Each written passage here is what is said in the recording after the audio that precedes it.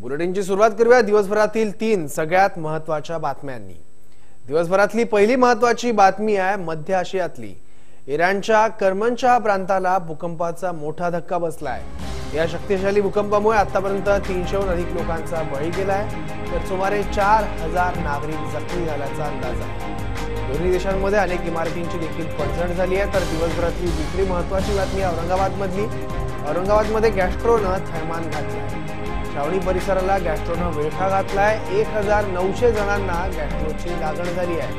हे सर्व रुग्ण छावणीतील सामान्य रुग्णालयात दाखल झाले आहेत. छावणी परिसरात पुरवठा होणाऱ्या दूषित पाण्यामुळे गॅस्ट्रोची लागण झाल्याचा अंदाज व्यक्त केला जातो आणि संपूर्ण राज्यात गॅस्ट्रोच्या रुग्णांमध्ये मोठी वाढ दिसते. आहे दिवसभरातली दुसरी महत्वाची बातमी आहे मुंबईतली संजय लीला भन्साळी यांच्या पद्मावती या बहुचर्चित चित्रपटासाठी अवघी बॉलिवूड इंडस्ट्री आता एकवटली आहे. या संदर्भात येत्या सोळा नोव्हेंबरला दादासाहेब फाळके चित्रनगरी इथे एक मुखमोर्चा काढण्यात येणार आहे.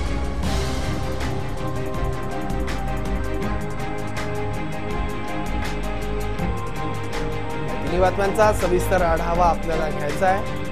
सुरुवातीला आपण एक मुंबईतली महत्वाची बातमी बघूया.